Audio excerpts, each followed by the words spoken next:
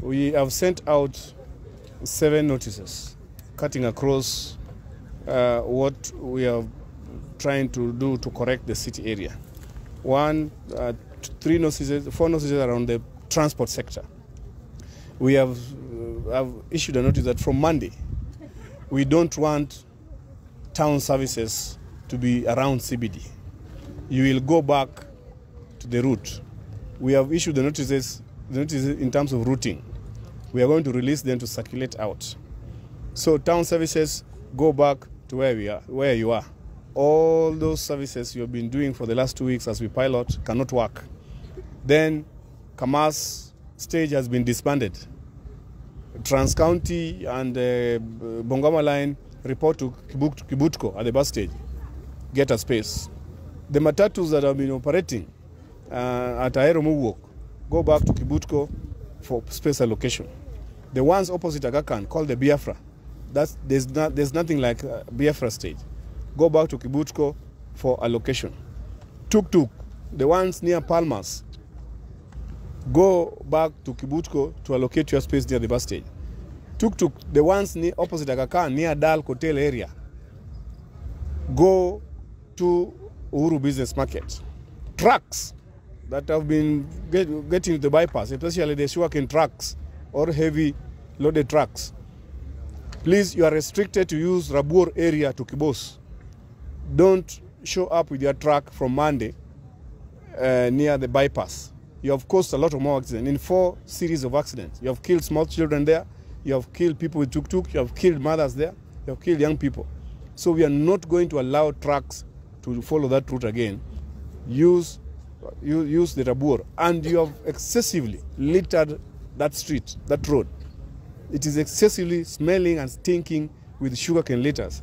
So Rabur is your route.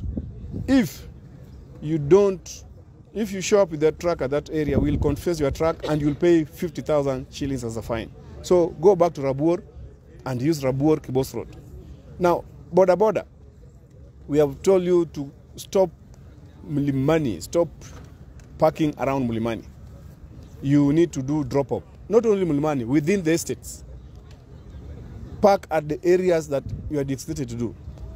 And we are restricting you to start registration. From 1st of July, we are going to restrict you either you charge fairly one passenger with a helmet and, uh, and, a, and the jacket but don't carry four more than three or four passengers on border. We are going to restrict your movement, and within you filter out the thugs that are within the boda boda that are causing uh, heinous problems in this city.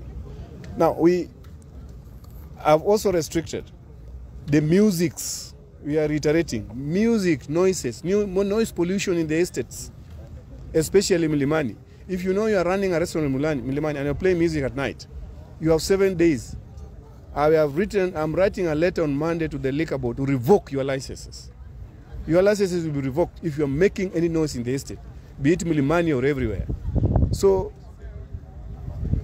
do the restaurant, sell food and other things, but don't play any music in the estate. Those are the restrictions we are trying to implement on all those sectors. The final one the traders in Apindi Street, Garissa Lodge, and Nyamlori start your mass exodus to Uhuru Business Market. Whether, whether you meander or you do what, you will leave. You must leave. You will go. So don't wait for me to come to, res- to restore order there.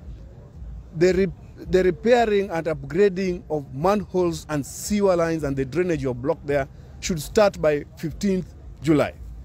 I've given you up to 15th July. Leave on your own. Go and occupy your stalls. We want to start reorganizing that as CBD2 area, opening those drainage and opening those manholes. Please leave the place. There's no way you will not leave. You will leave and you must leave. Start leaving in the next two months and go. Thank you. Sawa sawa. So that's okay.